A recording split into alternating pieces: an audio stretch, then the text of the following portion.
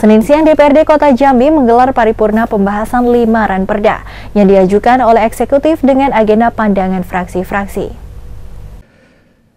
Jumat lalu pada sidang paripurna DPRD, pemerintah Kota Jambi mengajukan lima ranperda untuk dilakukan perubahan, yakni Perda nomor 44 tahun 2002 tentang izin pengumpulan sumbangan sosial, Perda nomor 5 tahun 2011 tentang pajak daerah, Perda nomor 10 tahun 2010 tentang biaya perolehan hak atas tanah dan bangunan.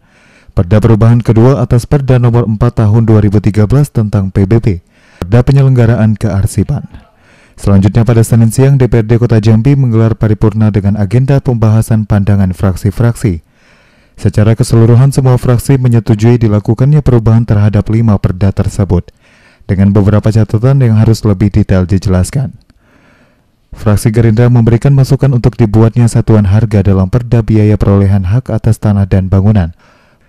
Fraksi PKB menyampaikan pemerintah kota Jambi perlu mengakomodasi semangat masyarakat melakukan kedermawanan sosial. Fraksi Hanura menyambut baik perda kearsipan yang dianggap perlu pada era digital saat ini.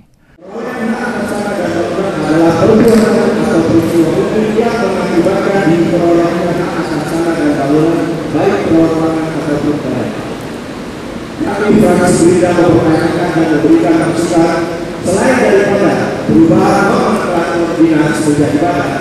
Perdana nomor 10 tahun 2010 pada pasal 6 ayat 4 maka perlu transparansi agar memasukkan sekolah harga tanah ke dalam peraturan mohon penjelasan. Terhadap peraturan daerah tentang daerah nomor 4 tahun 2002 tentang Kota Bangsa memahami bahwa sudah saatnya semangat masyarakat untuk melakukan sosial sudah catatan-catatan penting maupun yang sebagai rahasia negara. Itu semua penyelenggaraan sesuai dengan standar kearsipan dan halal dalam menanggung pusatkan sebagai teknologi dan alat globalisasi. Oleh karenanya kami menghadap terus dan lebih baik penegakan daerah ini. Meka Pestaria, JEK TV melaporkan.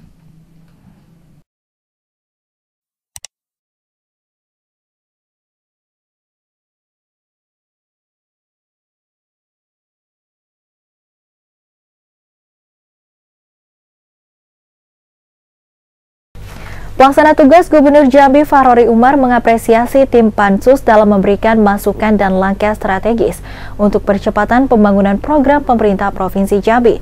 Hal ini disampaikan Farori pada rapat paripurna DPRD dalam rangka pengambilan keputusan Dewan terhadap LKPJ Kepala Daerah tahun anggaran 2017. Selasa pagi pada paripurna DPRD Provinsi Jambi, Pelaksana tugas Gubernur Jambi Farori Umar menyikapi masukan dari Pansus 1 dan 2 DPRD Provinsi. Beberapa masukan menyatakan terdapat catatan pada program-program pemerintah Provinsi Jambi tahun 2017, seperti permasalahan di bidang pendidikan yakni program beasiswa dan permasalahan guru.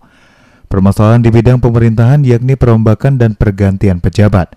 Permasalahan di bidang kesehatan yakni pertambangan, serta sejumlah program strategis lainnya yang dinilai pansus belum berjalan maksimal.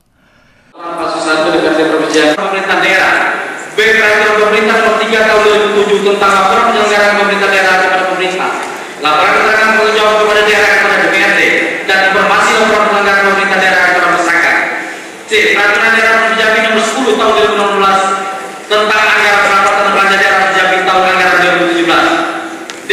Peraturan Gubernur Jambi Nomor 17 Tahun 2016 tentang penjabaran anggaran pendapatan belanja daerah Provinsi Jambi tahun anggaran 2017. PLT Gubernur Jambi Farori Umar mengungkapkan, pemerintah Provinsi Jambi terus berusaha semaksimal mungkin untuk meningkatkan kinerja guna mewujudkan Jambi tuntas 2021. Menyikapi laporan kasus dan rekomendasi yang tertuang dalam keputusan Dewan, Farori mengatakan akan menyusun langkah strategis, membangun upaya akselerasi dalam peningkatan kinerja dan pencapaian target pembangunan. Apa namanya itu DPR kita kan itu memang kita lihat batu barat, pendidikan, beasiswa, dan alat berat kan gitu ya. Maka karena itu tadi kan kita sudah Nah, memang mana yang ada yang kurang tentu kita akan sempurnakan. Mana yang sudah berlebih ya tentu kita bagikan bersama. Juanda Praetno, Cek TV melaporkan.